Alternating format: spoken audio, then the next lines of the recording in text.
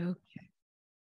Beautiful. Hello, hello, hello. This is Debbi Dachinger, and welcome to Dare to Dream. It is a pleasure to be here with you. And I've got a special guest coming on in a little bit, and that is Alexander Quinn, who's going to talk about ascension and the great planetary situation going on because it's a shift. Alexander is a star seed navigating the light. He's also a YouTuber and I'm sure my number is old, even from early this week, but at least 50,000 followers and growing. Excited to have that conversation with him. This show has been nominated for two People's Choice Podcast Awards for a Webby Award. It is listed in Welt Magazine as one of the top 20 best podcasts to listen to this year. And it also won the Coalition for Visionary Resources Award for Best Radio and Podcast Show.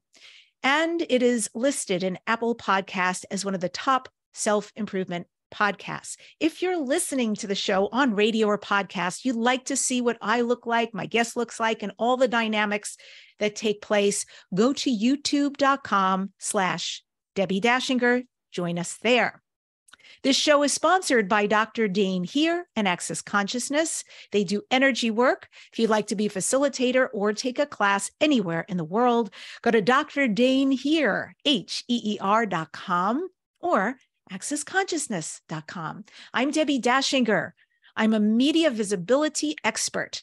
I'm a book writing coach, and I show you how to write a dynamic page turner book, and I help take you from inception of your idea to self publish and complete successfully. I've also got a company that takes your book to a guaranteed international bestseller status, and I do all the heavy lifting for the author. And last, I show spiritual messengers how to be interviewed on radio and podcast and get massive results. If you're ready to capitalize on those skills for who you be and what you do, I've got a free gift for you. It's templates, it's videos, it's all the how to's. So you can break into this being seen and heard through books and interviews right away. Go to debbiedachinger.com slash gift. It's D E B B I D A C H I N G E R dot com slash gift. Today, I'm speaking with Alexander Quinn. Alexander awoke in a Nashville hospital after a serious accident in 2011, which triggered a vast spiritual awakening. Post recovery, Alex was led to a series of ET experiences and a significant spiritual odyssey began. It involved his psychic abilities as well as understanding what his Earth incarnation signifies at this time of the great planetary shift. Alexander also discovered he had emotional connections beyond the physical nature of his Earth family and began to explore and nurture those galactic connections. As a result of these unique points of connection, he now specializes in the star starseed ascension phenomenon and published his book with Ozark Publishing in late 2022. You can learn more about him. Go to YouTube and look up Alexander Quinn to see his videos and enjoy what he does out in the world.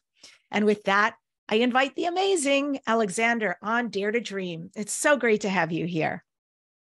It's so great to be here. That was a, a fabulous intro, and uh, I, I, I absolutely loved it. I absolutely loved it, and uh, um, yeah, I mean, it, hearing hearing the, my bio back, but when I'm listening to it, I'm thinking, my God, is that is that really me? Did I go through all that? But uh, to, you know, time goes through pretty, quick. But um, yeah, it's it's a it's a pleasure to be here. Thanks for having me. Yeah, it's a I I totally get it. I totally get hearing your own bio back, and it's like, wow, what a journey! Cool. This is who I am right now, and that's why. So eh, that's part of where I want to start because I I'm so curious.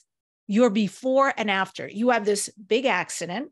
Something happens that completely changes you. You start discovering you've got connections beyond this planet, which we all do. But still, if you're coming from one way of being, and that is a wide awakening, and then having interactions with. So, who mm. were you before? What is the difference between who you are now and who you were pre accident? I think I think what sets me aside pretty much from everyone in the spiritual community, all the star seeds, all of them, is that um, a lot of people that I, from my understanding, they were all kind of spiritual people before, where I was not. I was the total opposite of spiritual. I was living a, a lifestyle that was total opposite of of spiritual. Um, even the, the, you know my friends, what I was doing, know, I was working in the music industry. I was writing with John Bon Jovi's writer. Uh, you know, I was dating a, a, famous country singer who's who's now dead. Um, you know, I, I I was I wasn't spiritual at all. Um, in fact, I was the total opposite of what uh, you know, people think as a, as a spiritual person. But but on, but on my mother's side, my mother was a psychic. Hmm. My grandmother um, was uh, my great grandmother was a um, uh, practiced shamanic stuff and was one of the first people to have an astrology column in the Telegraph in a major major paper yeah. in this country. Um, and my great great uh, grandmother, or the one before that, um, I can't remember all the grades. My, I, I'm not too good with numbers, but she had a premonition that Titanic was going to sink and got off and survived. So all on my mother's side, all these psychics and mediums and people going back in on the Scottish side, mm. and I've got a lot of my my mother's traits in me. So so there I was working in the music industry, you know, with all the trappings of, of kind of um, you know, playing guitar and, and working with famous people and, and and and doing things that people in the music industry do that are obviously not spiritual at all. Um, and then I had this terrible accident. I was I was I, I can't say whose house it was even now, hmm. um, but there's a very very in the USA you guys have the, those very famous um like Christian songwriters. Mm-hmm Whereas we don't really have the big Christian songwriters in the in, in the UK, but it's a big thing f- for you guys from where you are. But one one of the biggest um, Christian songwriters in the South, I was at his house, and I was standing in just socks. Um, well, I was, I was, fully clothed, but I was standing uh, wearing socks, and I was reaching to, to, to get a glass from the top of his um, shelf, and I slipped and fell, and the glass um, obliterated my face, and my lip was all torn up here, and I had a hole here, and I had a hole here, and um, they they luckily I had some some surgery, and they sewed me up and everything, and I was kind of like um, out of my body for a couple of days. Uh, but I was uh, when I was living and working in Nashville, I was completely alone. I all I only really had work friends, and my family were all in the UK, so they just sewed me up and basically just sent me back to my hotel room um, I mean, it was terrible looking back. It should never have happened. I should have had um, emergency care and God knows what. But I was just lying in my bed, practically going in and out of consciousness for days um, in terrible pain. Um, and I started, this is where, you know, I, I started seeing orbs in the room. I started seeing spirit. Um, I was having crazy dreams. I was like, all of my spirit guides were coming in all at once to kind of basically help me. So um, it was terrifying at the time because, I mean, imagine having a, a terrible head accident, you know, and, and, I had to have CAT scans, half my face was hanging off, and you're not, you're in another country, you're alone, no friend, no, no real friends, no family, nothing, and you're in a hotel room by yourself, going in and out of consciousness. So, so my kind of my entry into the spirit world was was pretty um, violent, I would say. And then my my dad got a call from um, uh, from from uh, my my manager at the time. I said, "Your son's in a bad way. You got to get over here." And he brought me back to the UK. I started recovering, and that's when I started having this kind of crazy, all this, um, I would say, like catch up, uh, like 25 years of catch up. Suddenly started coming in in terms of psychic ability, like everything my mom used to do, my my my great grandmother, so on and so forth. It all came in, all in one go. And I thought I was going crazy. I thought I was actually going insane because a lot of people kind of build up to it, you know, from when they're a teenager or from when they're three years old. I just got it all in once. Um, and that's really where it started. Um, so it was it was absolutely uh, mind-boggling when it kicked in. And I, I remember um, I remember being in my uh, uh my my godmother's uh, basement, and I said, "Right, if you're there, it really, you know, I've had all these experiences. If you're there, just switch off the light, switch it on again. And this happened. and I said, right, do it again. Mm. And I literally freaked out.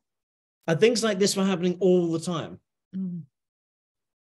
So I, I, I went to my mother, who was um, um, very, very psychic. She she claimed she was a, a white witch Um, she did a lot of interesting spells and things around our family home when I was younger, and I thought it was all nonsense until this accident. Um, I remember she used to call me up when I was at college, and I hadn't spoken to her in three weeks, and she'd say, "Alex, why are you doing that?" And she would literally know what I was doing, exactly what I was doing, who I was. I mean, she was she was so connected; it was incredible so um, things started calming down, started getting used to these abilities and these things coming in and kind of spirit and da da da. Um, um, started getting quite good at premonitions and seeing things. Um, and then I remember I was on, on the internet one one um, night, and I was looking for uh, help because I started getting very interested in the ETs but I was dreaming about the ETs a lot. So I thought, there's so we, we've gone spiritual, but now we're going extraterrestrial. Um, it's a, you know it's a lot to handle um, in a very short space of time. So I found this absolutely incredible woman called um, Cynthia Crawford. Mm-hmm.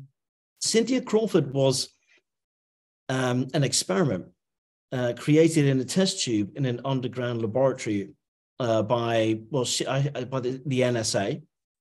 Um, and she, they took um, Anunnaki and Zeta um, genetics and um, uh, put them together into, into a human genome to create her. And she's the person that made this, um, this guy behind me. And she said, she said, you know, you're a bit late. I said, what do you mean you're, I'm a bit late? Um, when I emailed her, she said, um, well, I've been, uh, my guides have been telling me that, that there's this Arcturian captain or Arcturian commander is going to come um, this month and, and, and you're running late. Um, and I was like, I was like, wow. Um, have you seen Sword in the Stone, the, the one from the 50s? Yes. Cartoon. Yep. Mm-hmm. So you know when the little kid goes to get the arrow and he falls through the roof, mm-hmm. and Merlin is is there, and he's talking to the owl. He said, "I predicted that you'd fall down through the roof right there, and you're there." Well, this she was like that. She's like, she's like, I was expecting your email a month ago. You're you're, you're running late. And this is someone I'd never met before, never spoken to before, ever in my life. And what um, caused you to want to reach out to Cynthia? I was just um, looking for some mentorship or some help to try and piece together, you know, the craziness that was happening around me. Uh, and I found her, and I was just drawn to her instantly. Um, and, and that's really how this whole thing kicked off and how I started getting used to channeling and talking to ETs and da da da, da and the whole thing. And, and later then the book and, and she was the turning point for me. She, you know, she said, you're not crazy. Um, and um, no, you've got this Arcturian influence and, uh, and all this kind of stuff. Um, um, I mean, I, I mean, do, you want me to tell you about how the Arcturians came in? Sure, absolutely. Um, so I'm aware. I have so I'm, many questions. So yes, uh, the, feel free because this is fascinating. I, will tell you how the Arcturians came out, and then I'll, I'll, and then I'll let you go for a, a few questions. Um, so, so basically, she said, "Look, you've got this Arcturian connection, um, and I need to make you a, a sculpt, a, a, model like what this one, because what I do is I, I channel the the entity of the ET, and then I channel it into the model, and if I think you're like a, a, you know a star seed or, or, or someone, I will make this model for you, and I'll channel the the entity of that being into the model, and then I will send it to you. So I've been waiting this package to turn up for about a month. I was like every single day checking, did it come? Did it come? Did it come? And when I picked this thing up, I went into a trance. I literally went into a trance. I remember picking this thing up for the first time Mm. And a voice in my head said, a voice in my head said, go lie down. Ooh. So I went and laid down and um, and Cynthia has said to me, you know, get a picture of these guys, put the picture underneath your pillow, and then sleep on it because because that's how a connection is created. So so this guy told me to go lie down, and I lay down and I went unconscious within minutes. And then I woke up and I was alone in the flat because I wasn't dating my partner then. And I was running around the flat trying to say goodbye to someone. and it felt like I'd had a huge party and there'd been like loads of people here and no one was here. And I was running around. I was like, where are they? Where are they? Where are they? And it's like my mind had been erased. And it was really confusing. And I went to bed. And the next morning, I woke up and there's this email from Cynthia saying, You need to have a past life regression straight away because I know what happened to you last night. And I hmm. hadn't spoken to her on the phone anything. She said, You they you went on board a craft, they wiped your mind, and then you went looking for them, didn't you? And I was like, and that's when the that's when the first interaction with, with them happened. And how did you feel about it? Did, did you feel like you wanted more and that you were open? Did you feel freaked out? I remember going to work. I, I, was in this job at the time that I really didn't enjoy because um, I, I wasn't in my highest timeline at that point. And I was just sitting at work going, oh my God, this is, I can feel this connection here. And I was trying to focus on, I had a headset on and I used to take calls at a call center. And I was trying to focus on my work and I just couldn't. All I could think about was Arcturians and, and, mm. and these mm. crazy dreams. And there was, a, I could feel this connection. Um, and eventually, as as as time went on at work, I just became more and more vacant, um, disconnected because this this thing was coming in, and it was exciting. It was very very exciting. Um, I felt very natural. And so, how do you know them today? Is this family? Is this you in another dimension? What is the connection? Um, I have an Arcturian guide who is a singular being, not not not a collective. Sometimes they come through as a collective, but mostly it's an Arcturian guide. Um, it's about um, five foot tall. Hmm. It always comes in on my right. I don't know its name, um, but I know it's I know I know it, how it feels. It's the same as my mantis being. My, when I said to my mantis being, "What's your name?" it it got out of drum in my third eye. It got out of drum kit, started going blah, blah, blah, blah, blah, blah, blah, like that, and give me rhythms. Mm.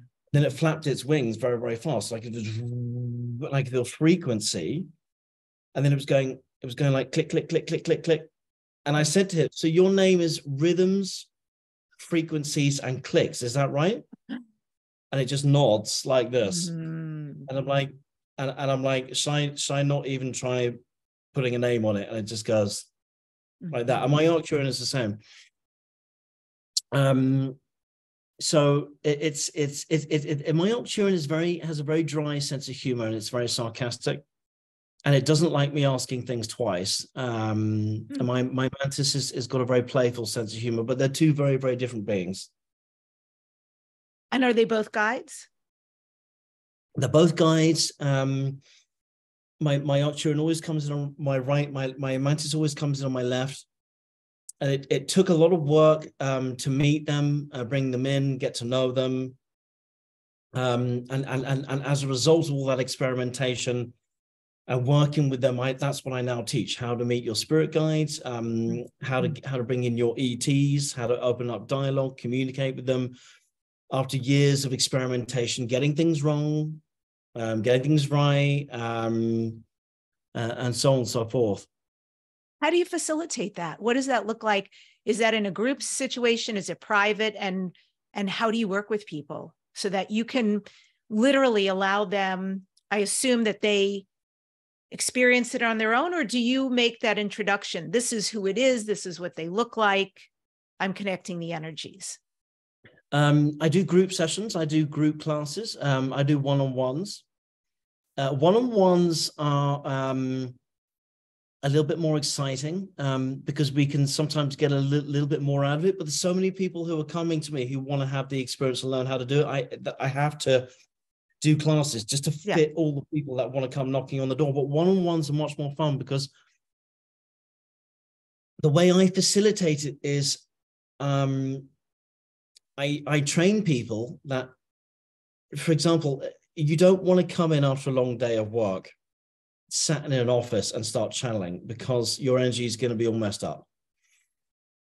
So you need to be aware of what's going on with your masculine and your feminine and your chakras and your energy and your blockages and your your, your field. And I teach prep work first Um, often, what I'll do is um, uh, first timers, um, if I can call them that, or, or you know, um, meet your uh, uh, your guide noobs, will come to me, and they'll say, "I want to meet my guide." And okay, so and I'll say, "Okay, we're just going to drop you in the deep end because th- there's no easy way to do this." Uh, first thing I'll do is I'll take them out of their mind. Hmm and into their heart space because the mind will analyze and shut down and distract and distort all the information and, and the integration and the encounters that's coming in from the ETs. That's why, you know, so many people around the world never reach their potential and never live their dreams because their logical brain is constantly shutting down their intuition and telling them it's wrong when their heart is saying otherwise if you look at great entrepreneurs or Mozart, Beethoven, you know, but these people that are always working from the heart, that's where the highest timeline is. So the first thing I do is I teach to, to shut the mind down and get out of the mind. And I have ways and constructs I, that I do that. The next thing is I'll tap into the client's energy. I'll see what all their alignments are. I'll go through all of their chakras, what's open, what's closed. Then I'll go through all the masculine, the feminine energies, and I'll see what, what where it's um, out of whack and how to balance it.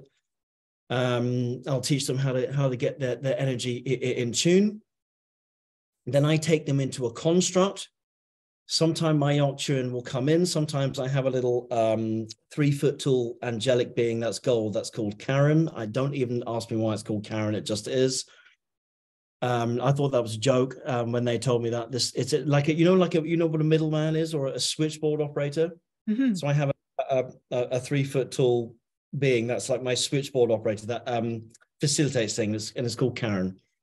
And sometimes she will come in, and then I will be standing behind the client as we go into this construct, and then I will give them certain cues and things we go through, and then beings start coming in, hmm. and I'm kind of holding their hand as they're going into it, and uh, usually a lot of experiences unfold. Sometimes it's with um, ancestors, sometimes it's with the ETs. Um, hmm. I'll give you two examples. Today, I had a lady who was actually very advanced. So we we got in very very quickly. She she's a medium, but she doesn't work with the ETs. So um, it's it's fun to have someone advanced because we can we can play a little bit more. So we we went straight in. We did all the work, um, tuning around. We went straight in, and straight away she had an, she had a um, an angelic being. She had a, a reptilian being on her left, and then we met a, a council of nine that came in that were wow. from um, from a galaxy outside of here, and we found out where their location was. Mm-hmm. Um, and they were giving her various things to think about. But sometimes I will have loved ones coming through. And for example, two weeks ago, I had a lady who that her dead mother came through, and she goes, "Oh my god, my mother's showing me my watch that I lost ten years ago. Now she's showing me this box, and now she's showing me the attic, and now she's showing me upstairs, and now she's showing me what box it's in." And anyway, after the session, I had an email from the client to say that she, after the session we'd had, she went up to the attic. She went to the box that her mother had shown her that we'd seen, and she found the watch that she'd lost for 10 years. That was kind. yeah. So, so I, I, a lot of, a lot of very, very crazy things happen during mm. our sessions, and I never know what's going to happen. Sometimes it'll be deceased people, sometimes it'll be ET, sometimes it's a mixture, and, and, and a whole lot of things. So, that is what, what i'm what i specialize in really is is the essential stuff but connecting with your guides working with your guides like for example th- this is a, a zen tarot book mm-hmm. this is mm-hmm. how i learned to use, like read like in the early days how to like do tarot and stuff like that right so a lot of people in in, in the spiritual community will read a book to gain information but what you don't need books anymore you don't you don't need all the stuff when you can connect your guide, go straight to your guide and get it from them. That's cool. I love it. I love it. And that's what I, that's what I that's what I teach now. To, to go straight to source, straight to your guides and get it from them. Yeah. I mean, energy is everything anyway. and the time we're living in is like this. And we're moving into something even greater. So that makes complete sense to me. And it's lovely that there's someone like you offering a service like that for people who are really ready for that next step and that level of communication. And um, I, I want to talk to you a little, also a little bit about multiverses and galaxies and universes, solar systems. We all know that all of this exists concurrently. and various stars. So we're not alone. We know this. There are many beings, there are many entities, there are energies that exceed our limited six senses. So, who is with us right now at a time where I feel like we really need them to be with us? Who are the energies that are around us just beyond our six senses, maybe beyond our vision and our comprehension, but are actually here facilitating whether we know or don't know? Well, we have our ancestors, uh, we, we have our, the angelics, we have our ETs, we have the ascended masters, um, we have loved ones as well. We also have facilitators that will come in and out of our lives, uh, people who would just help us. Um, but more interestingly, we have something called innate, which is uh, the quantum part of ourself that is working within uh, alongside the quantum field or the soup that is everything that that encompasses everything and everyone um, um, you know when people say we are all one mm. to some degree we are all one so we have all of those energies but we also have innate and our innate is a part of our quantum self that works with the the field that is around us and also our body in order to facilitate things physically but also to draw and manifest and make communication and so on and so forth with the switchboard of the universe so there's a lot of energies coming in. There's also uh, we have councils and and and some people talk about the Galactic Federation. Right. I don't work with the Galactic Federation. I I I just tend to work directly with beings as opposed to groups of beings.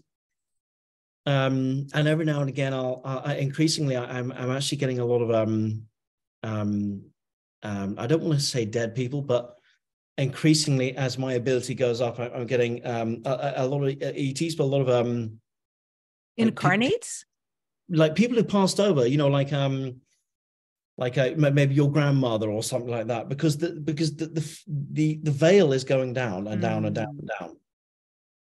And once you have some of these abilities that have clicked on and you know how to do it, it it's so easy in these energies. I mean, honestly, do you know what frustrates me about the spiritual community? Oh, no. What? Is the spiritual community make channeling and make mediumship and make psychic ability so difficult and complex, and it's not. It's easy. Hmm. You, I can teach it to anyone, and I do. Mediumship skills, how to talk to your parents who passed on, how to bring in your ETs, how to channel. Yes, there are some disciplines, that you need to adhere to, but it's never been easier to do this work. Hmm.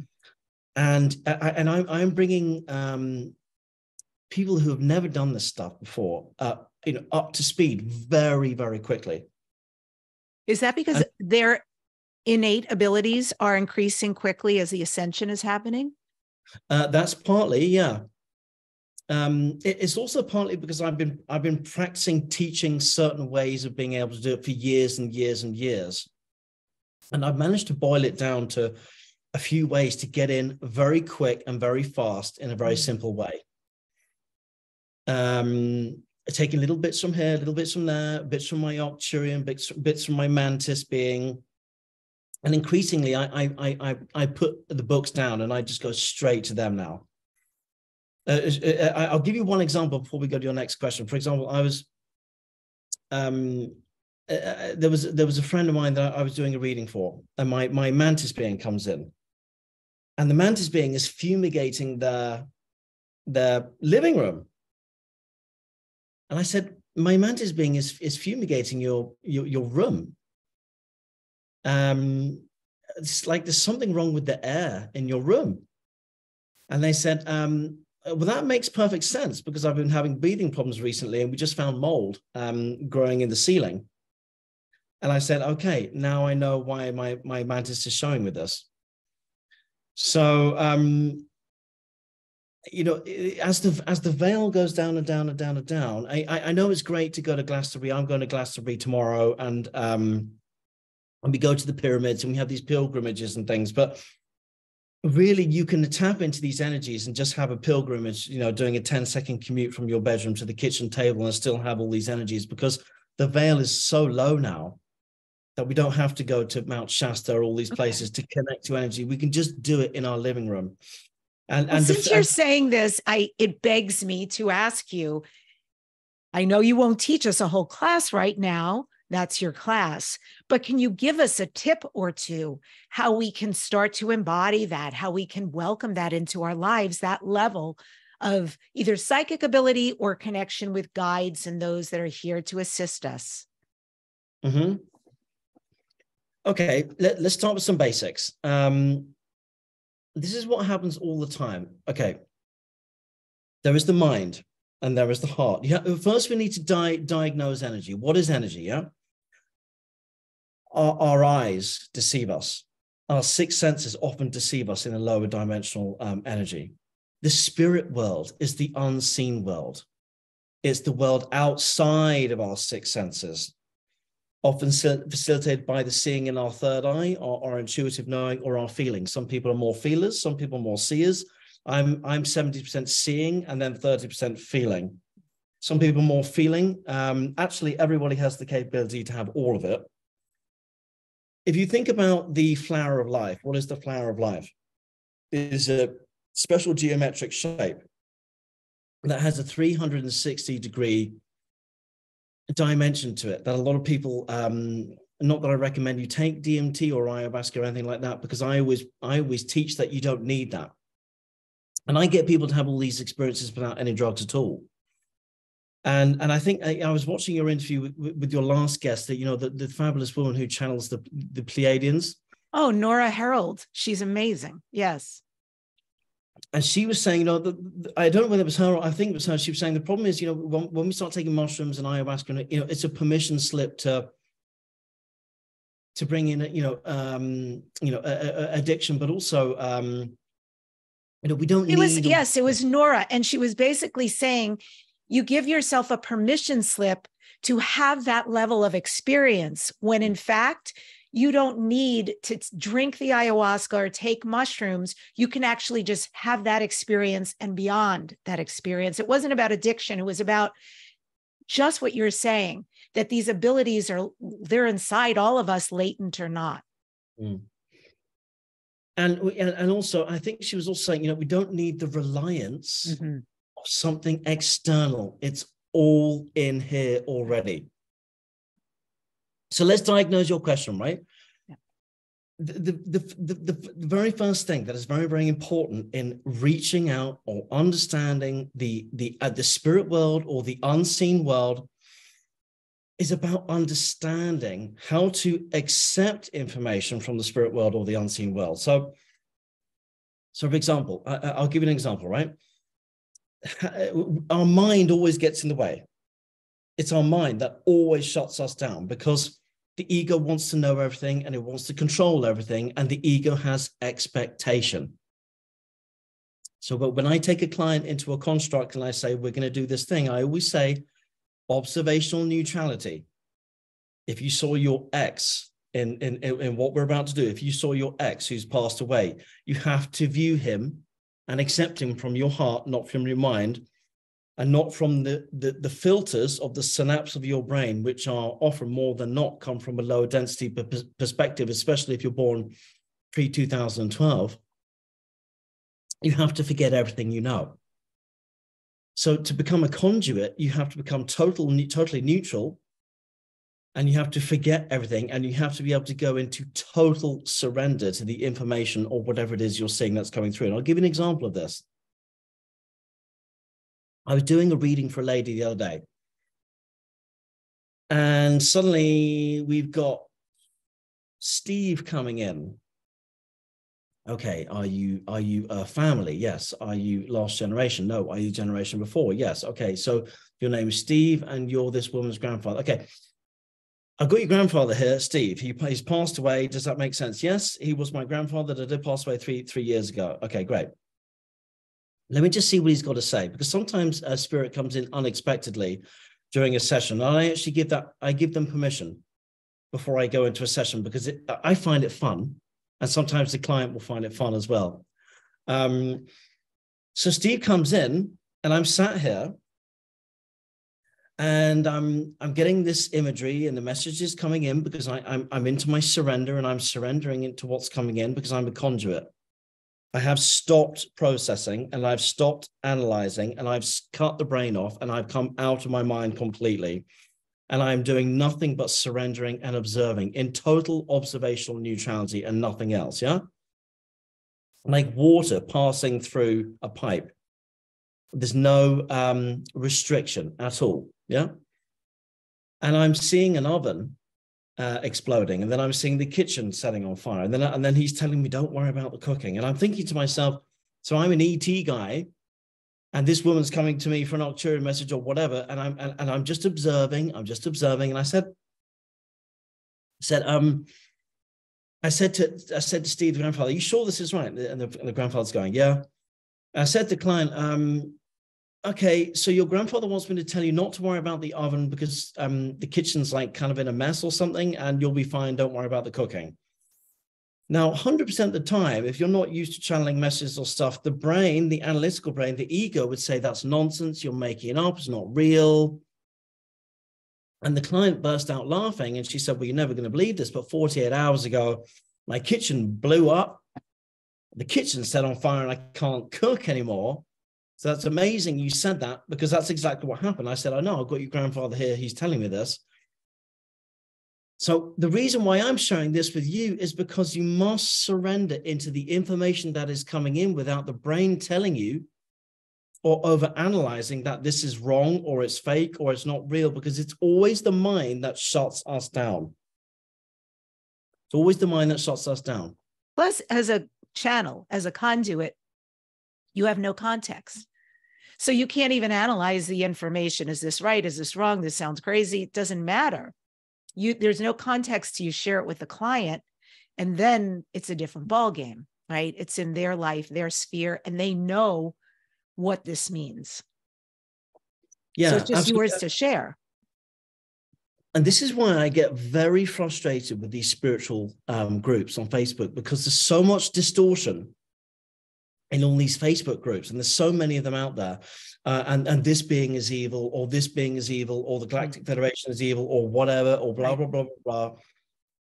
And I always say, go channel that being first, and see for yourself, because I'm telling you that when I go off into the woods, and I do a 45 minute meditation and I go into a void where I can't even hear the birds in the trees and I'm out of my body completely and my mantis being comes in for the first time, you go beyond the mind constructs of good and bad and good and evil and light and dark. So I'm telling you, in those much higher densities, there isn't all these all those things that the mind creates. Yes, there are there are some you know some parasitic entities and things out there you know in the lower densities. Uh, there are reptilians and stuff, but when you go up to those very, very, very high planes, there's no good and bad. There's no; these are all mind constructs. So I always say, uh, you, have got to come back into your heart, stay in your observational neutrality, be a conduit, and, and be nothing but a pair of eyes viewing without the synapse of your brain and all these things you've heard in a Facebook group, Ashtar Command is evil, da, da, da, you know. It, it, you, when you get to these higher planes, it, all that stuff doesn't exist. It's not there. Mm. And if you have all these filters blocking you all the time, you're going to have a lot of very distorted information coming through and you won't be able to do all this kind of work. So that's the very first thing I teach get is to get your mind out of the way so you yeah. can get the information to come in without you distorting it down to something that is basically junk by time it gets there. Does that make sense? Completely. 100%. Yeah. So that's the very first thing I teach. The, the next thing I teach is let's go through your chakras. What's open, what's closed. Mm-hmm. And I'll scan, I'll scan the client. I can I can scan you right now if you wanted me to. Have a look. Um, I probably pro- probably a little probably uh, putting you on the spot in front of your your your. Oh, it's okay. But I also know because I do chakra work as well, and I also know that it changes, right? It does. But you can scan me right now. Oh. You know, tomorrow if we did it again, it would be different. But please. It, it would be, it would be, and that's a very, very good thing that you brought up, and it's very, very important that you brought up, you brought up that thing because every single morning I have to scan myself Yes. Before I do any work with any clients, because the, uh, uh, it's very, very, very important thing you said. Because a lot of people are still in an energetic imprint mindset, perceptual, perceptual vibratory awareness, still of an old energy, but everything was stuck. Mm. And things are very, very fluid now. So every single morning, just like you said, I have to check my own energy to see what's going on, what's changed. Because Me things too. are so fluid. Just just like you said, just like you said. So it's very, very important to, to be doing that. So we'll go through all the chakras, we'll check what's open. I do it every single morning to see what's going on, see if I've got attachments myself. Mm. Because if you're not aware of your own personal energy, if you, um, you know, a lot of times the quantum field will bring someone to you as a mirror image to either show something about yourself within the quantum field because of something you put out that is now rippling back to you, or to get you to experience density through the vibrational field in their quantum field to come up and outside of you for healing that they are orchestrating inadvertently through their higher self. But if the ego, once again, is in there it's going to say, no, that person was evil, that person was wrong. I interfaced with their energy, and something felt icky about them. But 50% of the time, it's something within their field is bringing density up from you and it's coming up and it's coming out. But the egoic mind will tell you that it's something that is, is wrong about them because we are, again, we're not coming from the heart space. And if you're not in the heart space, you can't process energy because the mind will always give you distortion. Would you like me to give you an example of that so it makes sense? Absolutely. Yes, please. I couldn't work with sex, sexual abuse victims in the early days because I thought something was wrong with their energy. Mm. Until a very, very gifted mantis uh, being, who uh, a woman who works with mantis beings, I, I, was telling her, and she said, "Let me get my mantis being in to see what this is all about because it doesn't sound right to me." And the mantis being um, scanned my um, my sacral in the last couple of lifetimes I had, and I was I had had sexual abuse going back that I was ancestral. That was um, an issue in my sacral now. So every time a sexual abuse victim came in, mm. they were bringing up density in my sacral that was coming up. But I should have been taking ownership of it, but I was in my mind and I, I was projecting it back onto them when it was my problem and not theirs. Does that make sense? Yeah. Huge. Wow. And were you able to work with that energy to release it and heal it? Yeah. So I went up to the Tor, which is the heart chakra of Earth, where I'm going tomorrow. We, I went up there with her and we did some work and we got it sorted out and I've been fine ever since. Mm. And that mm. was a big learning, that was a big learning curve for me. Yeah. It taught me that if I'm interfacing with someone else's energies and I, I feel, and I start feeling wrong, I will always go to myself first to see where my energy is wrong instead of hmm. project onto them. So cool. So cool. Thank you for those tips. I think it's really helpful. I can imagine a lot more in your class that you learn and help people with. I think that's intriguing. And I understand that Pachamama, that Mother Earth and humanity is considered to be this big science experiment with many extraterrestrials having eyes on us. So, why? Why are we being watched? Why are we considered so important? I mean, I'm saying that I already get information. So, I know some of it, but I really want to know in your world, why are we so important? And why is Pachamama so important to the rest of the beings and galaxies? you call her Pachamama, yeah? Mm-hmm. I love that. Um, why is it so important? Because Earth is one of the only free will places, experiments in the universe. So, free will can go any way you want it to go. Uh-huh. And it has. it certainly has. And you can manifest it any way you want it to go. And evil has done that. Mm-hmm. And it has used the quantum field to manifest it. In an old energy, that was possible. In a new energy, you can't do it so much anymore for a lot of different reasons. But yeah, it was Earth is an experiment. a lot of souls are rushing down here to be part of the experiment and, and to see what this free will ex- experiment is like hmm. and to see whether I mean, we did cross the hurdle in 2012 but it's really to see what we can do with our individuality not only uh, as a collective consciousness but but but but also before 2012 as a as a singular person because we always say me and i and then as we go up into the higher densities and five and above it, it, it becomes we but still with a sense of I. And then as we start to get some nine and above, we get you know 9D Pleiadian consciousnesses and um, 9D Arcturian councils, and usually it's just we and nothing else, and the sense of I goes completely. So they're looking at our Earth and figuring out can these guys do it by themselves? Can they work through all their karmic issues? Can they work through all their trauma? Where will free will take them? Will they blow their planet up like the Pleiadians did? 200 now uh, 233 563,000 years ago or was it or will they or will they get through it and we did get through it and if we didn't pass the mark of the sixth time this place was basically going to be restarted mm-hmm. so now we're ahead of time and we're racing ahead and and and and, and they're basically trying to see, you know, we're the new kids on the block. And they're saying, you know, how fast can these guys do it, and how they how how are they going to do it? It's just, it's just interesting for them as it is for us. You know, people think that they have all the answers. You know, yes, they did have a much higher perceptual awareness, and time goes much faster on the other side, but they're still looking at us and thinking, wow, how are these guys going to do it? Because don't forget, we were them and they have been us. Right, right. On the other side, there is no time on the other side. So mm you know, people think that the Arcturians are some kind of really um, superior, incredible being that we must look up to, but they see us in neutrality as their brothers and sisters because, as I say, we've been them and they've been us. Oh, We're just down here with our boots on the ground at this moment in time. Right. You know, this this role reversal.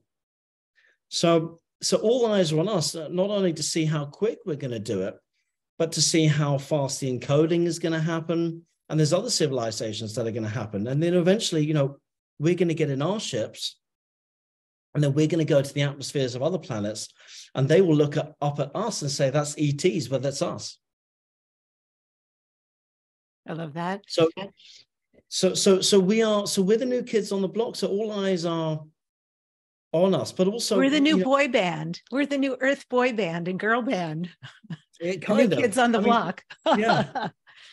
So, so but, but, but but you know as we work through all of our um shit we're healing ancestral lines not just for ourselves but for stuff that is happening out in the cosmos and the ets as well and all of them are going up an octave as well. They think it's just us but the whole galaxy the whole well, certainly our galaxy but the whole universe is going up an octave. Everything is going up an octave because we've got all these codes that are happening uh, in the great central sun and, and that, that's not just flooding and just it's not just like oh like it's just suddenly not hitting all the other star systems and everything else all the great central sun and everything um, that's happening and it just only just hitting this tiny little speck. It's hitting everything. Everything is going up an octave mm. so um I want to reference something you did. I watched one of your YouTube videos about Arcturian guidance and specifically Arcturian guidance that you received. And I had this really big takeaway. It was quite beautiful um, because you actually read, I guess you received this whole download and then you wrote it out as though it was a letter. And you read that letter. And at the end of the letter, from Arcturian guidance was this quote that we are veiled because if we knew how powerful we were, we would wonder why on earth are we here on earth if we even knew how powerful we are? And I thought that was a stellar thing to reflect on at a time when I understand there's so many beings and energies that are in a waiting list who would do anything to come in, but we have chosen to come in. And some of us are battling a lot of that. Like, oh, this is a really hard life. And yet, the Arcturian is telling you we're so much more powerful than we even know. And that sometimes we veil ourselves from even recognizing the potency of who we be because we question our sanity. like if you're so smart and powerful why would you choose to incarnate on earth but yet here you are. So with that brilliant anecdote that you received is there also a lesson forward to using our power embodying our power and recognizing we did choose to be here and using it for good for ourselves for the planet? Mm. again another great another great thing you said. Um, a, a, lot of star seeds have a problem being here especially the ones that have um, the old souls find it uh, easier um, but the ones you know when i when i check into clients and i and i'm like um, you've only been here five times. So how do you feel about being here? And 50% of them are okay. But the other 50% have a real hard time grounding down. And they have real root problems. Um, mm. And sometimes that turns into suicidal um, thoughts early on, um, eating disorders, things like that. Um, and they struggle to be here and it takes them a long time for them to be in their body and when you're not in your body you're very dissociated very dissociated uh, you don't feel like you're here. And often these starseeds and light workers are coming into families to uh, uh, clear up a, um, a lot of um, karmic stuff as well. So that it's like twofold. It's like a lot for them to deal with. It. You know, the first waves that came in, you know, a lot of a lot of them checked out. It's much easier. It's much easier for the second wave and the third wave, and it gets easier and easier and easier and easier. Now, but now we've got these these kids who are coming in who are so multidimensional it's hard for them to to ground it down in here and we're getting a little bit more autism coming through and adhd and all this kind of stuff and these kids are very very very gifted but you know this is a um you know imagine me and you imagine me and you swimming down below 100 meters below, below the, the point where most humans can't you know only free free diving champions hmm. can go where oxygen is, is very very low and your cognitive, cognitive ability starts to get a little bit weird. You know, you, you can't really ground down where you are or, or what you're doing. And you're right on the edge. And that's what it's uh, like for some of these very high, high vibrational kids to coming in. It's almost like going down like to where a free diver goes with just a little bit of oxygen and trying to make sense of the whole thing and ground down. And you can see the light up there, but but but, but it's tough, and especially when you come come in with a block root chakra and a lot of these kids, a lot of these high vibrational, high vibrational kids are coming in through C sections more and more because it's harder for the mother to actually give birth. Uh, so C sections for these kids are going up and up and up and up. So, um, know, I actually forgot what your question was. Yeah, wow, that got so cool that tangent. I have to say, I was right there with you on the C sections and everything. But and also, I just want to add a piece. What makes it hard also for people, and I actually uh, resonate with this, is besides coming in and you're sort of a newbie here, but when you come in indigo and extremely sensitive, and I am extremely sensitive, it can be very, very, very hard to be a part of this planet's humanity. So, hmm. that said, the question was if the Arcturians' guidance to you was, we're actually incredibly powerful beings, but we veil ourselves because if we realized how powerful we were, we'd say, why on earth are we here on earth? Why do we make that choice? And so I'm asking you, is there a way to actually take that lesson and utilize our potency instead of veiling our potency? How can we use our potency to be the most extraordinary beings, use this lifetime to be everything it could be and more, to be the greatest creators, manifestors, contributors to humanity? Mm. That's the question. Well, I mean, uh, we we we mentally veil ourselves because we have because um you know our, our minds are as we come from a 3D to a 4D paradigm. Uh, you know, we've been we, we don't get taught the stuff in school. And we have a lot of subjective information coming at us constantly through the news and and and our artificial sugars and uh, uh, you know, and pharmaceutical drugs, and and we have got that and everything else. And so there's a lot of things just in our physicality that is blocking us. Um, and our food, and you know, generally our our, our food is is our food um, um, strains, our food um, distribution is, is is is quite polluted. So so we're already at a slight disadvantage because we don't have the types of fruits and things that Gaia used to grow initially, and, and but there, there has been a veil to some degree, you know, up until 2012. It's electromagnetic. If you want to get scientific, the veil is electromagnetic frequency, uh, partly to do with mixed with gravity fields and quantum fields as well, and encoding inside of us.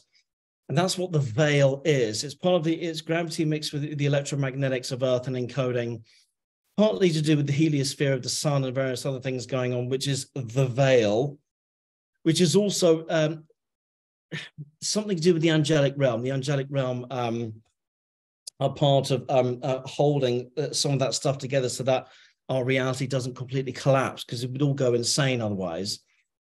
But as that goes down, yes, we are we are coming here, we're coming to learn, but also this is a school of mastery.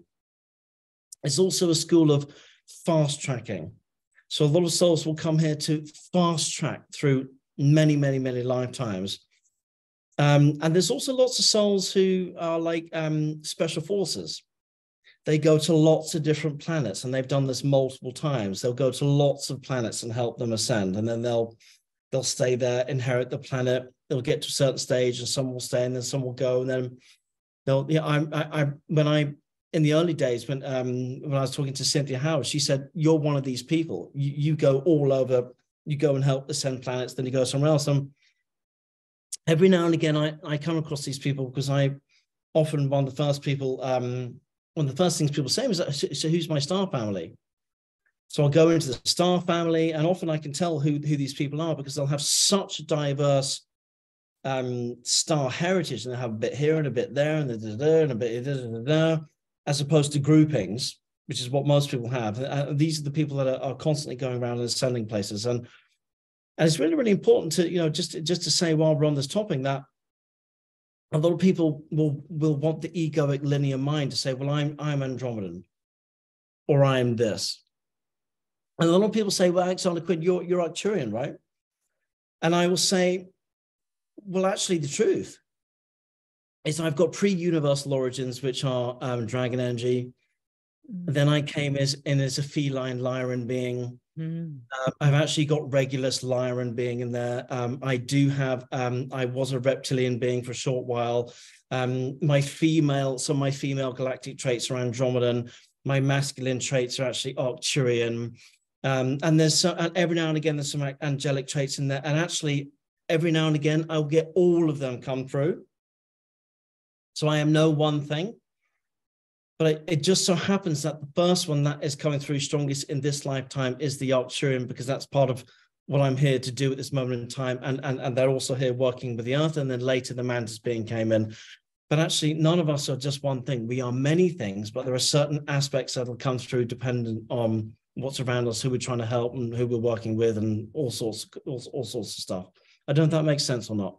Yeah, it does completely. And um, I've had a galactic reading from somebody absolutely superb. So I even know the inception of my soul and then the planets and entities, beings that I have been. And it makes so much sense. That's what I love about this work is that it's not separate identities that one would say, well, gee, that is so weird. I would do that in that lifetime. It actually is a complete contribution to who you chose to be this time.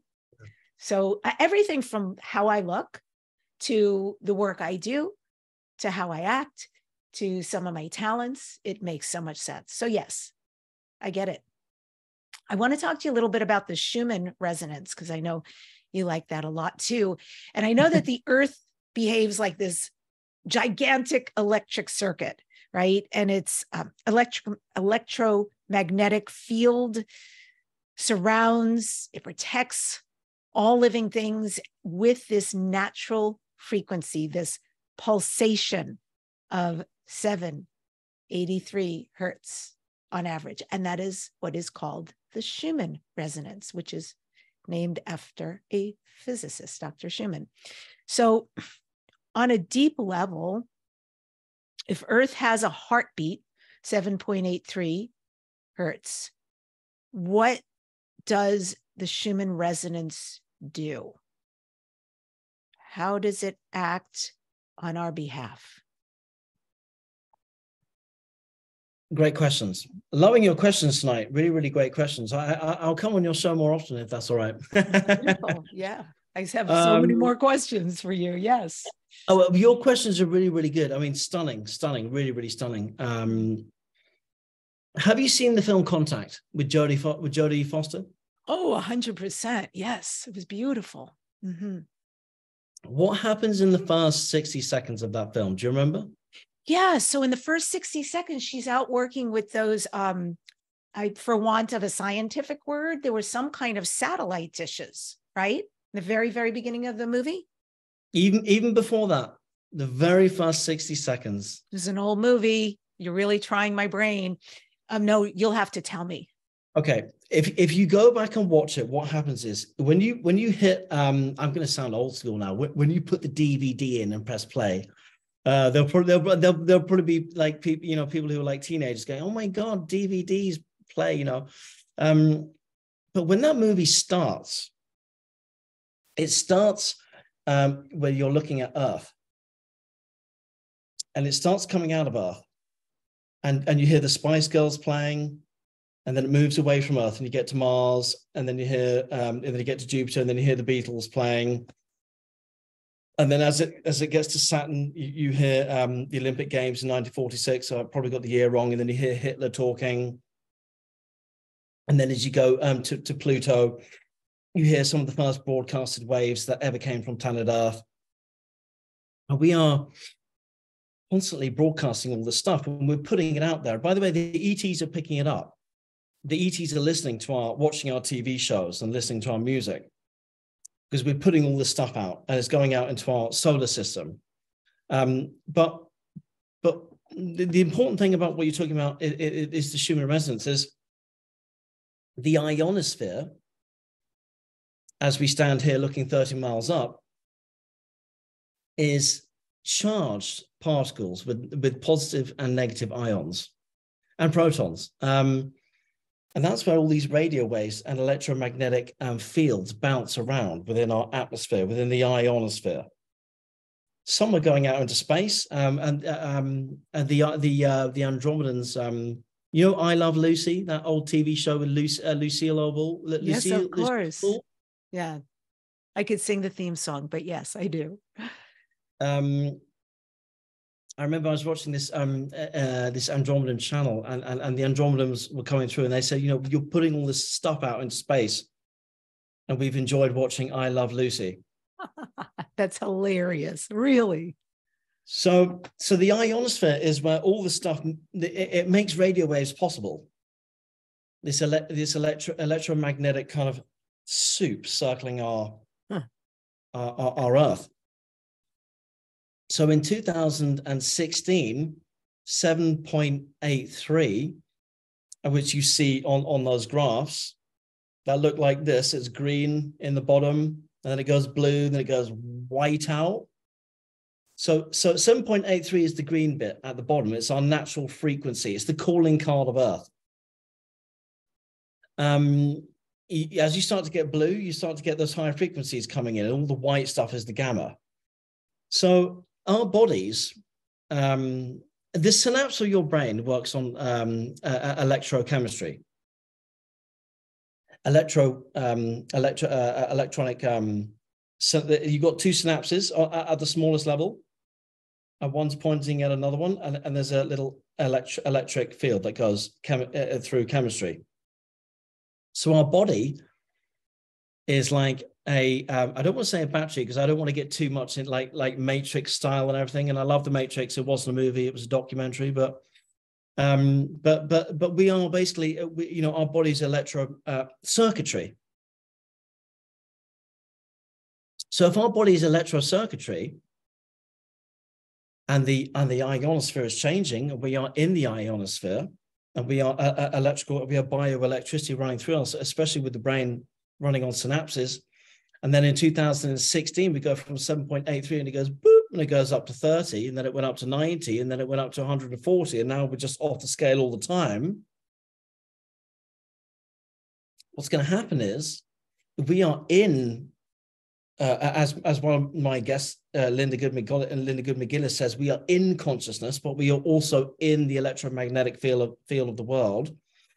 So if it if the if the if if that field is changing and we and we are in the field, and the synapse of our and our DNA is running on uh, electro um, on electrochemical impulses, we're going to start changing on a chemical level, and we're going to start changing on a strand level and a, on a DNA level. So more strands are going to become available, and as a sweeping generalization, the more strands you have available, the more densities roughly you can go up up, up into. But more quantum parts of your DNA are becoming available. So the, the Pleiadians help um, put a quantum part into our DNA. So we have 23 chromosomes, but the 24th part is quantum, and eventually science will catch up with that. So what happens as your DNA starts coming, you know, that 98% junk, supposedly, you start getting the clair abilities kicking in, you know. So for example, um, um, clairaudience. Now people think, oh, well, I'm not a spiritual person, you know, I don't have um, I don't have a spiritual ability. You know, I'm busy eating McDonald's and and watching Netflix and stuff and whatever, right? Well, there's a lot of people who have um, clairaudience all the time because clairaudience is the ability to hear what is supposedly inaudible. Mm. What's the ringing in the ears? Mm. As you go up into these higher frequencies, you're hearing, you're getting that ringing in the ears as we're going up and up and up because it's coming in as a frequency and then it's hitting um, something within within the ear tract. I don't know the exact science. I wrote about it in my book, but so you are you are essentially hearing what is inaudible, and you are having a clear, clairaudient experience. So more of our DNA is going to click on. Um, there is also this theory about Enki's gift, which Barbara Marciniak talks about, which is some latent coding that the Anunnaki put in um, to help us get there, which is also partly to do with in, infighting, um, you know, from the Anunnaki and so on and so forth. But that might just be another bedtime story. But I love the Barbara Marciniak stuff. So your DNA is going to click on, and you're going to start getting more psychic and more abilities kicking in, and then uh, you know a, a, lot of people becoming more hermits. They, you know, they're getting divorces, are going up. Um, loads more people are, are leaving old relationships, changing jobs, totally changing uh, uh, you know, uh, becoming new people because as a, as the world changes, you know, our consciousness is a our consciousness projects the world that we live in, mm. and as our consciousness changes, the world that our consciousness will project into the world out there. The world will change, and banking, and food, and distribution, and markets, and and and things will become more local, and the way we eat and drive, and so on and so forth. So it's all changing. That's why, you know, as our consciousness changes, and our DNA changes, all the systems and, and, and these quantum things uh, all have to change as well because the world is a projection of our consciousness. So it, it, it, it has to change because it's inextricably linked, as is our shadow self. That's why I keep on going on about shadow work because you, you know, Peter Pan can't run away from his shadow because it's linked to him all the time. Yeah. So, you know, why, why do all the spiritual bypassing and love and light stuff, which is great. It's a lot of fun, but do the shadow work. You know, we came here for the healing. That's why we're down here to yeah. work through all, all the stuff. It's some of the most powerful work I've ever done in my life. Uh, game changer completely to take ownership of one's whole self as much as one can perceive it in any moment. And just for people who are not aware of what that means, can you explain what a shadow self is? So do you remember the example I was giving earlier on about how I will always, if if I interface with someone's energy, and something feels wrong, instead of me, my mm. my my ego, right, automatically because we're we're trained in fight and flight, right? The monkey mind, the reptilian mind, or freeze, survival. You know, we automatically because we're not in control of our ego, mm. so the ego takes control, and then we go into projection. Right. And in 12 step programs, they say one finger pointing at you means there's three fingers pointing back at me. So it's really my issue. Yeah. I mean, most of the time, not all the time, but most of the time. So, so for example, you know, I'm doing shadow work all the time, but so when I'm interfacing with someone something supposedly comes up inside me that I think, oh, this doesn't feel great, or something's not right here. I, I, I, I go into again, I become a conduit. I go into my observational neutrality. I shut the mind down. I step back from the mind. Mm-hmm. Instead of allowing and, and just so people know, like blow by blow. So something is happening that creates a separation with somebody, and or there's a judgment or a criticism or something is perceived, right, that doesn't feel good about that mm-hmm. person yeah, or it could even be um, something that I'm picking up um, just um, energetically. But the mind always comes in mm. fight, flight, fight back. Mm. And the shadow work is to step back, view, don't analyze, view, just watch the experience and see where it lands. And then you can analyze and see what happens. And you step back. But always try to take ownership of, of it from your own perspective first, then project. That, and that's just one shadow. That's you know that's just one basic shadow shadow lesson. Right. Yeah, I learned um, in my work with it um, always to write down the things that that the worst things that were in history, my history, or going on currently, and everything I blamed that person for, judged that person for, put a label on them about, to then turn that around and say, where am I like that? And of course, the first thing, because the ego does get involved, is like, there's no way. I'm nothing like that. Mm. Right. And then I learned my little trick don't look for something their behavior equals my behavior. Look for the energy of what we're talking about. And so woof, you go down that rabbit hole, I would find creations and ways of being. Yeah, a lot of remorse. I can say that I had a lot of remorse when I would look at myself and say, I actually see the inception of this. I see how it plays out. I see how it destroys relationships and trust. Um, and I would feel so awful. I would always write um, a letter or make a phone call and follow up and create an amends. It was important to me to clean it up. And then I could never be the same after that. It had been, you know, the light had been shown on that darkness and it's powerful and it doesn't mean i don't still have shadow right as much work of I, as i've done on it because it's i think it's part of the human experience how yeah, we project go, on others you want to go deep Sure. It's my middle name. So we're doing a lot of a, akashic clear up right now. Mm, I'm going to give you. I'm going to give you a, a, an amazing example of this because there are complexities to this. So some people are have an akashic um, inheritance, an akashic inheritance bias. So mm. a lot of people will get into abusive relationships because they've done it lifetime after lifetime after lifetime after lifetime. And then they get in this lifetime and they don't know anything different. So they are naturally drawn to these people because they're just in routine. And then they will say, oh my God, but these people are so abusive, blah, blah, blah, blah. And actually, what these people are is something that they are playing a role that has been decided by you on the other side prior to you getting here for these guys to come into your life so that you can see the scenario again and break the cycle and stop it. Mm.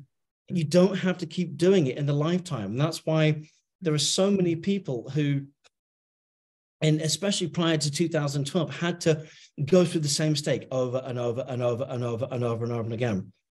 And all those akashic and, and karmic cycles are now coming to an end for so many, many people because of, of, we're coming into a higher dimensional, um, multi-dimensional part of ourselves. So we're breaking these loops and we're making the lesson. We're, we're learning the lessons now. And we're not going back into an abusive relationship, you know, uh, again, and blaming them and saying, hey, actually, that person is, is, is an abusive person, but it's my fault. I got involved. It's all about taking ownership. And that's the hardest thing for the ego mind to process that we are creators and we create our own reality. And if our reality sucks, it's our fault. now, now that's very, very hard for the ego mind to process, but there is a, akashic things at play that do make it a little bit more difficult. Yes, we have come from a low density, it does make it more difficult. Yes, we are coming to our power you know we, we're not in our full power yes there are things that are stacked up against us but we have to take ownership for ourselves and our own energy and everything and i'll tell you what i'm going to say something i've probably never said publicly before but you know if, if my energy is not in the right place and, and i'm having a really bad energy day I, every now and again i will i will i will cancel a client i will say look this is not fair on you because I can't give you what I should be giving you. And I, I need to go away and, and, and do a whole lot of energy work for the afternoon. So I get myself ready for you because I check myself out. Myself is not good enough today. And if they want their money back, I will give it back to them. So I'm brutal with myself every single day. Every every morning I, I have a I have a routine. I do a 20 minute thing and I check myself. And if I'm not up to scratch, I'll say to the client, I can't I can't service you today because I can't be who I want to be. I think that's that, very refreshing. I have to say that's that is a lot all, of that's integrity. where mastery comes in. Yeah, that's beautiful. I mean, if I was your client, I would just reschedule. I'd be in love with you because I know when you show up, you're fully there all your gifts intact and none of your stuff getting in the way of our session. And, you know, we'd feel it anyway, right? The session would be off. So that's very refreshing. Well, that's called that's called taking ownership of your of your energy. That takes practice, and that's taken me a lot of practice. Hmm. So I'm going to ask you as we get towards the end. I know you do light language. I know you do channeling. I am actually in a light language group. That's a it was a big leap for me to agree to do that, but um, I'm actually loving it. I really love it. Everybody takes, we pull cards, everybody takes a chance to do light language. Everybody's incredibly different. And as you know, the delivery and what every person mm-hmm. experiences from the delivery is yeah. so different, but it's a really profound experience mm-hmm. and experiment. So, would you be willing, Alexander, to do some light language channeling or transmissions for us here? Uh, yeah, they're already coming in through now. Um, they want to address uh, one of your previous lifetimes when you were lying being called a Sha'ita. I just wrote it down because it's coming through right now, and uh, and they're going to address that, and they're going to speak to your galactic self now. Okay. Yes, thank you.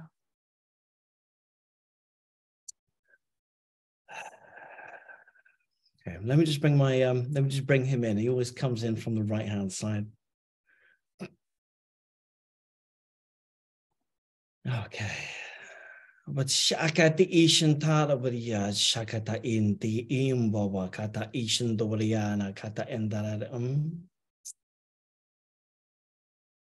Uuriya kata ishin tariyara baba kata andi uhuhuriya nare shatara. Shakatari ishin ta toriyara baba ka um? am. Uuriyara yashatara. Biara. Gone. Um, I was laughing because they were addressing um, your part of your Lyran side, and they were saying, um, "Don't you remember the beautiful um, Gold Kingdom of Lyra? You were there when we used to come and visit you, um, and we'd like you to try and um, address that part of yourself because it's going to come through in the work in, that you're doing at this moment in time." And we'd like you to explore that. Um, and they give this name uh, Sharita or something along those lines.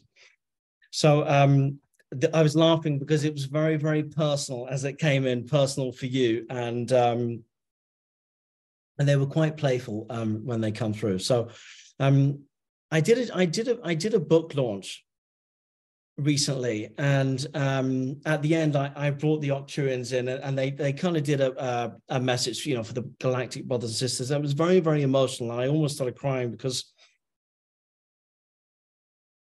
they were so they come in with a love beyond our imagination.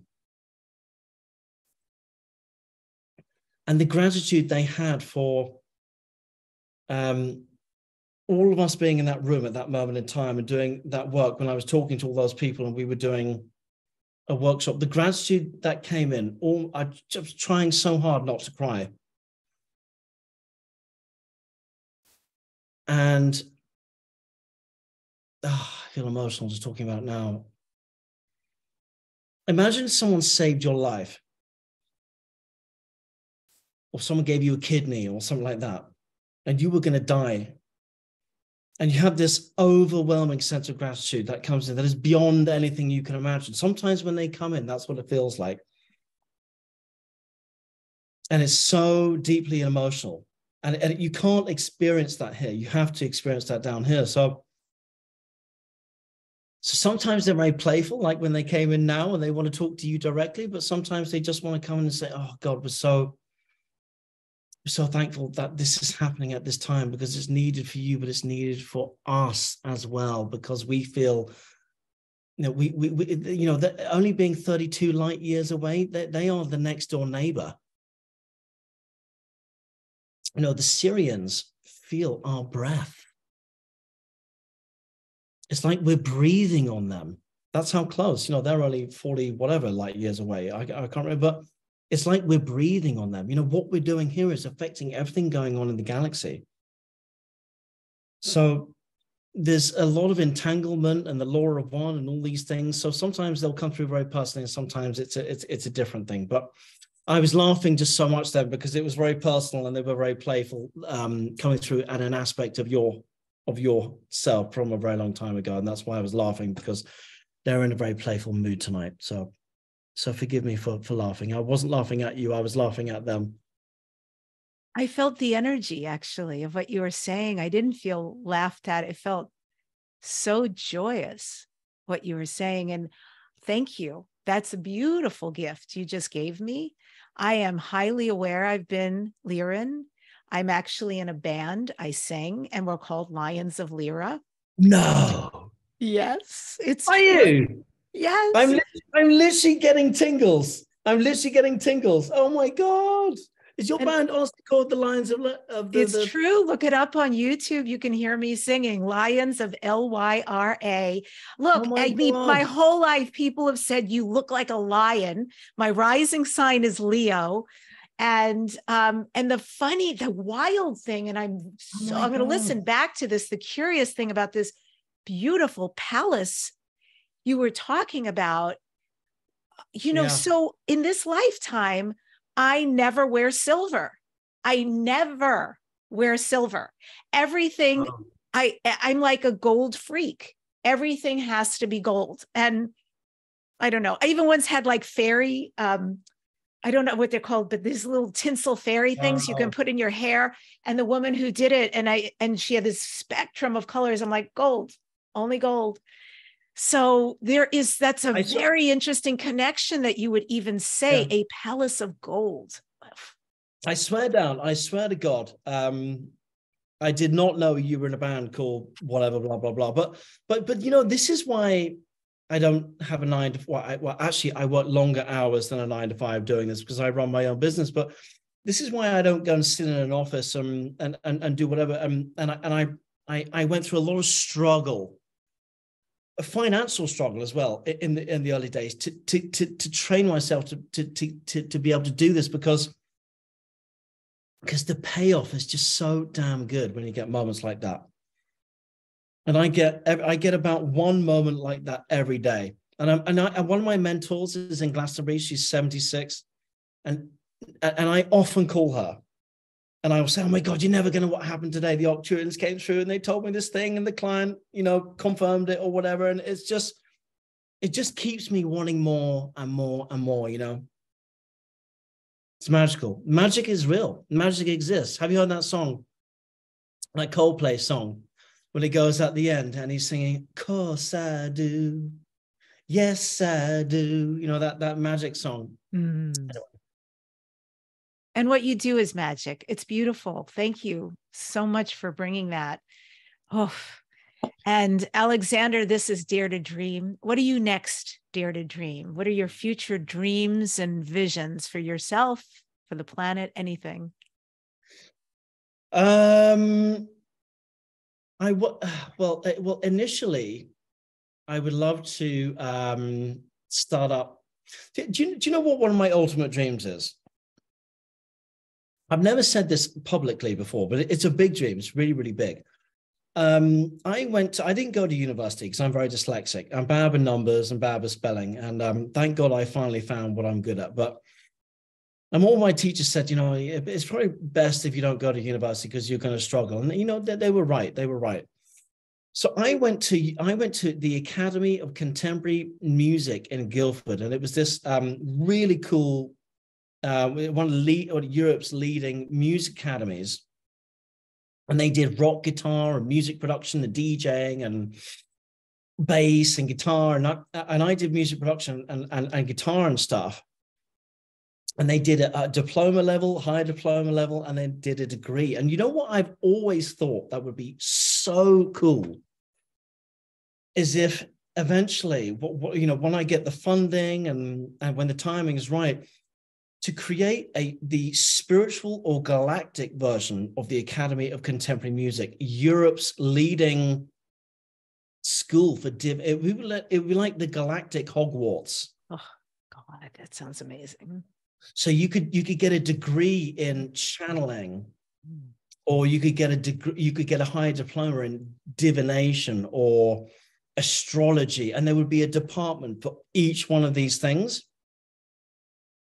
Um, and you'd have all the top people in Europe that would all uh, be full-time teachers in this school, and you could do you could do divination and astrology with a side of channeling, or you could do full-time channeling with a side of um, crystal work.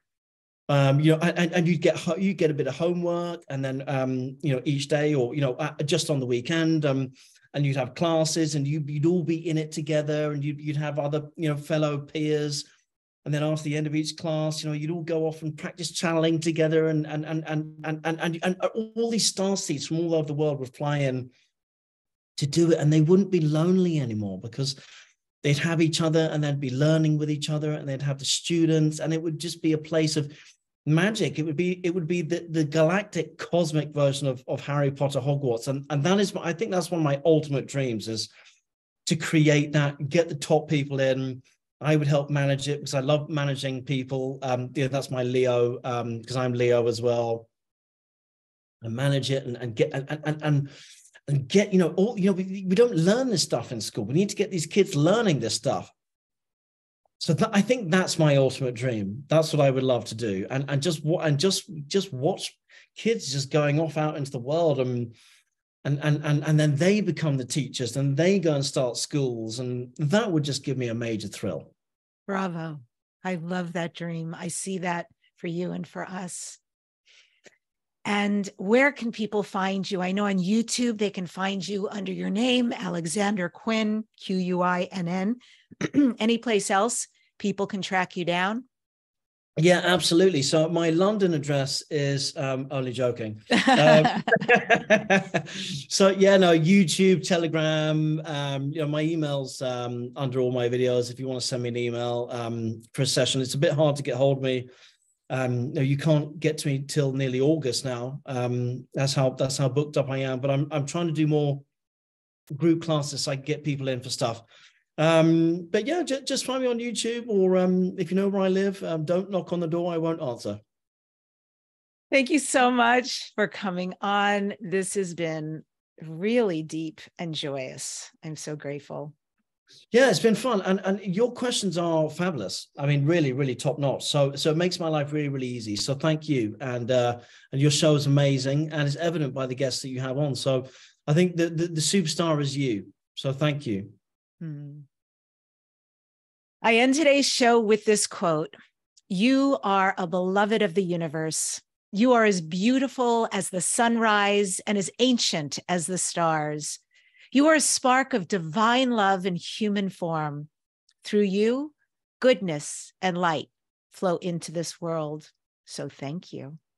Subscribe to this number one transformation conversation, the weekly Dare to Dream with Debbi Dachinger podcast. Next week's show will be featuring the amazing Jamie Price, who's an intuitive empath has had off world memories of being Illyrian and Sirian starseed and began to receive and transmit messages from cosmic beings. Jamie is the author of Opening to Light Language and the Cosmic Consciousness Ascension deck. It's an oracle deck. She's an international channel, international teacher, and energy healer. It's an honor to have here, her here next week. If you love this show, please subscribe, like, comment. I do read them all. And remember, you're a star seed. Clean up your shadow. You'll be so much happier, right? You'll be in so much more ownership. And also, you are so powerful. You are so, so powerful. Shift into the resonance you came here to be. Thanks for joining us today on the show.